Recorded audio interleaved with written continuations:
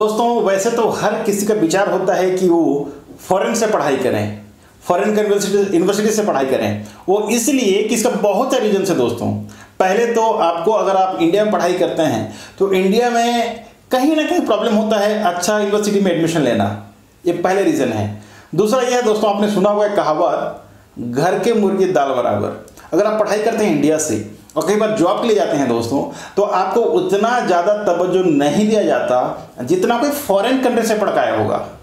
ठीक है? तो यही सब वजह है, लोग चाहते हैं कि वो फॉरेन जाकर पढ़ाई करें। दूसरी महत्वपूर्ण बात यह है कि अगर आप फॉरेन से पढ़ाई करते हैं फॉरेन क्यों जाना चाहिए? वो इसलिए कि अगर आप अपना लोकल कंट्री में पढ़ाई करते हैं लोकल कॉलेज में पढ़ाई करते हैं, अपने देश का तो कहीं ना कहीं हमें लगता है कि भाई हम जो है अपना जो कंफर्ट जोन है उसे बाहर नहीं निकल पा रहे हैं। क्योंकि हमें अपना लैंग्वेज अपना संस्कृति सब पता होता है। अगर हम बाहर जाते हैं तो बाहर में कहीं ना कहीं हम, कहीं ना कहीं ये सब इंप्रूवमेंट लाते हैं। हमें पता चलता है कि बाहर का संस्कृति क्या है, बाहर का लैंग्वेज कैसा है, बाहर का खान पान कैसा है। तो इन तमाम चीज़ के बारे में हम जान सकते हैं और सीख सकते हैं। यही वजह है, हर कोई चाहता है, हर किसी का ड्रीम होता मेरा भी ड्रीम था कि मैं फॉरेन जाकर पढ़ाई करूँ, लेकिन उस टाइम मुझे ऐसा गाइडेंस नहीं मिल पाया था, जैसे कि आज हम लोगों को गाइड कर रहे हैं कि वो किस तरह फॉरेन जाकर पढ़ाई कर सकते हैं। हालाँकि, इसमें बहुत ज़्यादा सतर्कता लेना पड़ेगा आपको जब भी आप प्लान करते हैं बाहर जाने का। लेकिन दोस्तों, आपको कोई प्रकार का प्रॉब्लम होता है, कोई प्रकार असुविधा होता है इन टर्म्स ऑफ़ प्रोसेसिंग तो आप मुझे कभी भी कांटेक्ट कर सकते हैं थ्रू माय व्हाट्सएप और ईमेल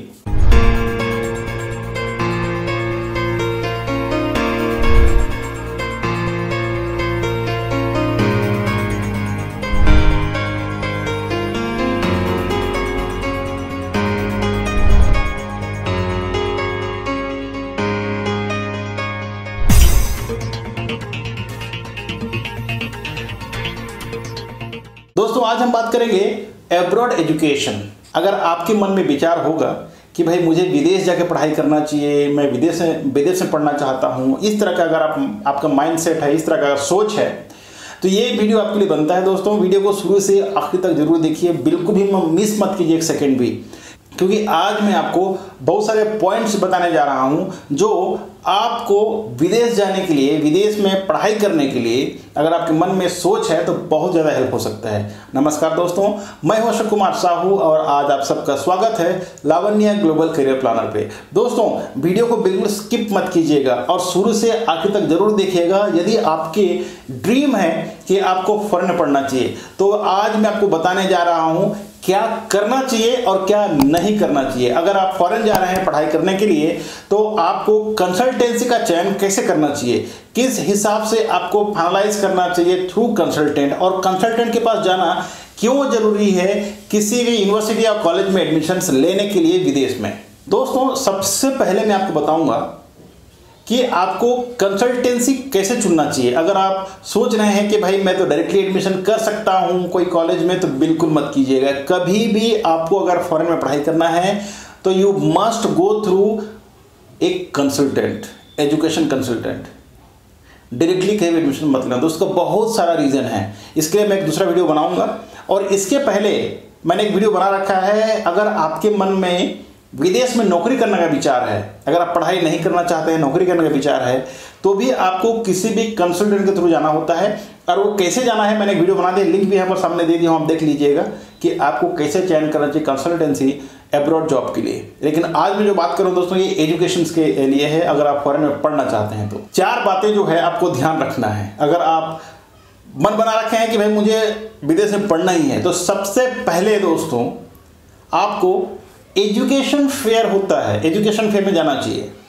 एजुकेशन फेयर में इसलिए जाना चाहिए क्योंकि उसमें बहुत सारे कंपनीज़ बहुत सारे कॉलेजेस बहुत सारे यूनिवर्सिटीज़ आते हैं, जहाँ पर आपको वो उनका यूनिवर्सिटी उनका कॉलेज के बारे में इन डिटेल्स बताते हैं। और वहाँ पर आप उनसे जाके मुलाकात करके आप डिटेल्स जान सकते हैं। वहाँ जो भी डेलीगेट्स आते हैं फॉरेन से चाहे वो स्कूल से हो, कॉलेज से है चाहे वो यूनिवर्सिटीज से हो, उनसे आप बात कर सकते हैं कि रियलिटी क्या है यूनिवर्सिटी क्या है, क्या कॉलेज फ़ीस का स्ट्रक्चर है। अगर आप अगर आप स्कॉलरशिप के बारे में जानना चाहते हैं तो उनसे आप बात कर सकते हैं। तो इन डिटेल्स अगर आप वहाँ से लेते हैं तो आपको बहुत आसानी हो जाता है। उसके बाद आप घर आ जाइए।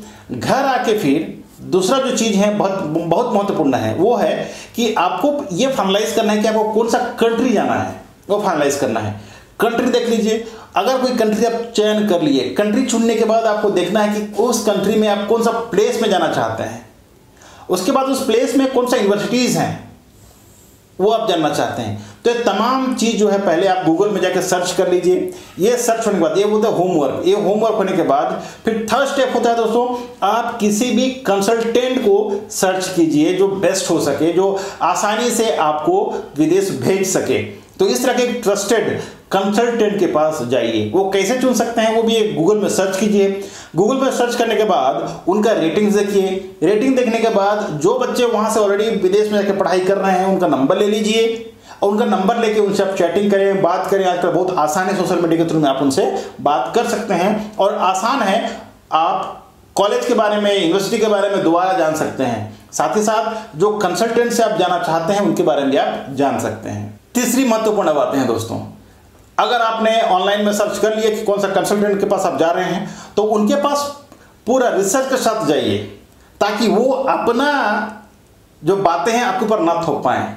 अब होता ऐसा है, अगर आप जाते हैं किसी कंसल्टेंट के पास तो वो जो इंडस्ट्री जो यूनिवर्सिटी में आपको एडमिशन देना चाहते हैं, वो आपको ज़बरदस्ती करते हैं कि this industry this university is good this college is good so on ठीक है?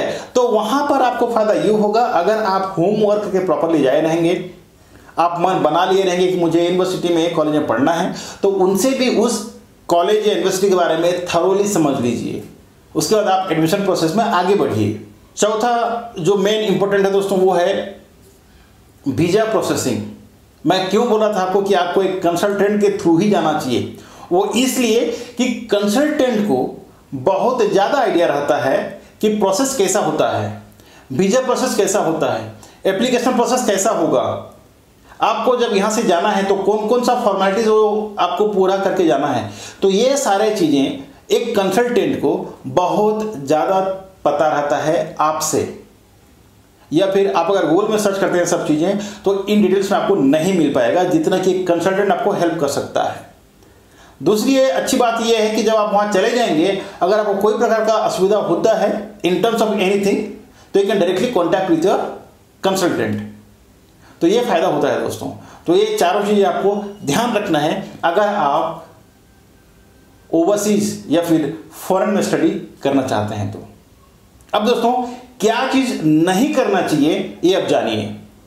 दोस्तों फॉरेन जब पढ़ने जाते हैं तो ये बहुत ज़्यादा। दोस्तों, जब आप सोचते हैं कि आपको फॉरेन जाना है, पढ़ने के लिए तो दोस्तों, वहाँ पर थोड़ा ज़्यादा एक्सपेंसिव होता है। ठीक है, आपको पता चल गया कि आपको कॉलेज फ़ीस कितना है।